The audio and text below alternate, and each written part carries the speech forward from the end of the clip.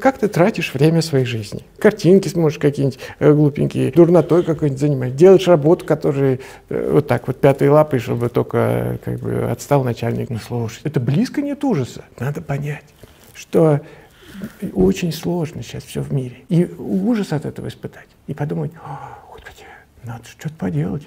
Понимаете? Вот потому что если так продолжаться, мы шмякнемся, и будет бубо. И из этого сразу, понимаете, возникает ощущение, что что-то надо делать.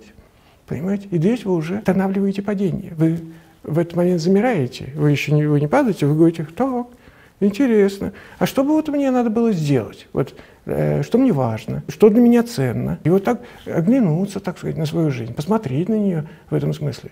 Может быть, что-то действительно надо с ней сделать.